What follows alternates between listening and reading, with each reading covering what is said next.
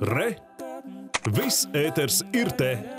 Bet jau rīt Liepājā tiks atklāts atjaunotais leģendārais koncertdārs Putvēji. Ir gaidāms vērienīgs koncerts ar ļoti zīmīgu nosaukumu – Atgriešanās. Un par gaidāmo notikumu plašāk vaicāsim Liepājas Latviešu biedrības nama valdes loceklei Vitai Hartmanai, ar kuru esam sazinājušies šajā rītā. Labrīt! Labrīt!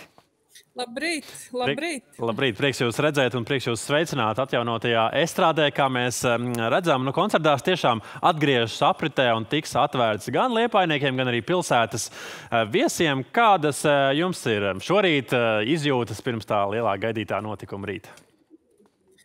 Šorīt mums ir ļoti vēsturisks notikums un patīkam tas, ka jūs redzat aiz manis Liepājā ir saule Daudzus gadus, kopš mēs strādājam putvēņos, koncertu laikā vienmēr ir saule. Šodien mēs gaidījām divus gadus, un šī ir vēsturiska intervija. Šī ir pēdējā no ierēdņa puses, no, no cilvēka puses, kas runā bez mūzikas instrumentu rokā. Aiz manis jau ir klavieres, aiz manis ir prožektori, aiz manis ir sakārtota visa estrāde, lai rīt skanētu. Skanēs ļoti apjomīgs koncerts ar milzīgi daudz mūsu Latvijas mūziķu zvaigznēm. Šeit būs visa plejāde, un es jau nodošu estrādi viņu rokās. Jā, starp citu, sakiet, Lūdzu, vai jūs atceraties pašu, pašu pirmo reizi, kad jūs pati bijāt putvējiņos un uh, salīdzinot tas, kas bija toreiz un tas, ko jūs tagad redzat? Jā, Toreiz man laikam bija seši gadi, es vairs daudz neatceros, jo man bija tā iespēja, ka vecāki man atved, nosēdināja klēpī, un, un tā, koncerts es atceros ļoti labi. Viss spilgtāk atmiņā orķestras zvaigznīte, Ojāra Grīnberga dziedājums, eh, kad klausītāji viņu nelaida prom. Eh, ļoti labā atmiņā ir Mārtiņa Brauna un Sīpolu galvenā balva, Zodiaka galvenā balva. To varētu uzskaitīt ilgi, ilgi.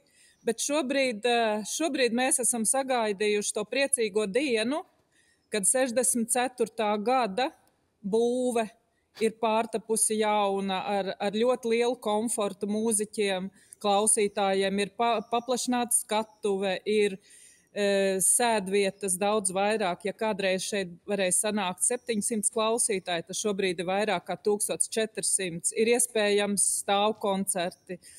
E, būtībā viss ir domāts par, par klausītāju.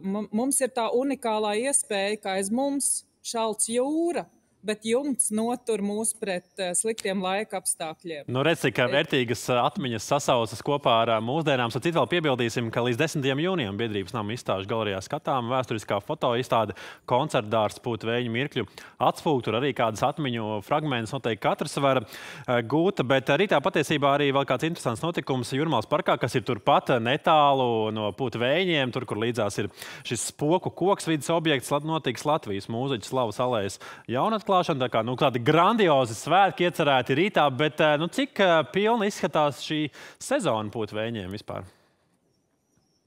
Jā, eh, svētki ir ļoti grandiozi ar vairāku pasākumu kopumu. Un rīt būs pulkstenis 18.00 parkā pretī līvu spoku kokam. Būs atklāšana, mūziķu slavas, atklā, slavas alējas atklāšana, pēc tam grandios koncerts un koncerta noslēgumā uh, Vēl visi klausītāji var iegādāties biļetes, ieejas kartes un nosvinēt ar, ar milzīgu afterpartijas eh, ballīti, kur ies visa nakts garumā.